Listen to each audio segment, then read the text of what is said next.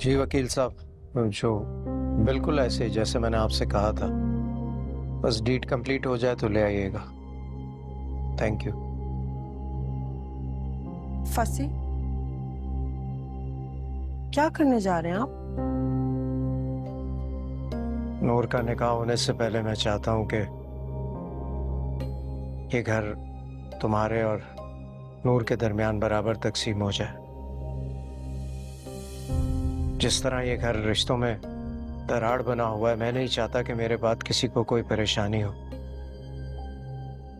इस घर से मेरी ज़िंदगी की और नूर की बहुत सी यादें वाबस्ता हैं। आप नूर का निकाह करवा रहे हैं? किससे? माज से। और मेरे ख्याल में इस वक्त यही सबसे बेहतर फैसला है। क्या ये बात सच है तबस्सुम। मेरी तुम्हारी जो भी नाराज़गी हो लेकिन निकाह के वक्त मुझे तुम्हारी ज़रूरत होगी। बिल्कुल वैसे ही जैसे नूर की बर्थडे पर मुझे तुम्हारी ज़रूरत पड़ती है। फंसी मुझे लग रहा है आप पागल होते जा रहे हैं। इतना जज्बाती फैसला इतनी जल्दबाजी में इतना भी नहीं सोचा कि आप मुझसे मशवरा कर ले।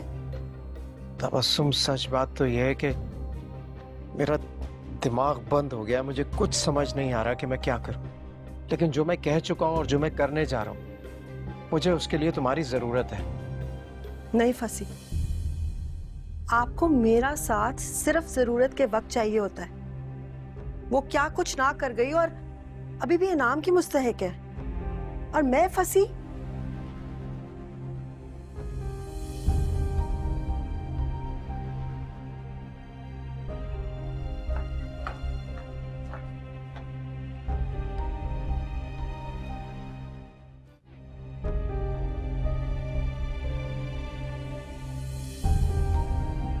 मैं जानती थी फसी तुम्हारे दिलो दिमाग में नूर के अलावा और कोई नहीं। मैं और मेरी बेटी तो तुम्हारे लिए एक हैसियत रख अब तो इस बात में कोई शक ही नहीं रहा। नूर की माज जैसे खाते पीते घर में शादी, जायदाद में आधा हिस्सा। हर तरीके से फ़ायदा फ़ायदा ही फ़ायदा है ना? और हम माँ बेटी? नहीं। अभी नहीं तो कभी नहीं। अब तो चाहे मुझे कुछ भी करना पड़े। मुझे ये शादी और घर के ट्रांसफ़र रोकना पड़ेगा। हाँ, लेकिन इतने कम वक्त में ये सब का कैसे? नहीं। कुल कायनात में ऐसा कोई काम नहीं जो नामुमकिन हो। कुछ ना कुछ तो करूँगी मैं।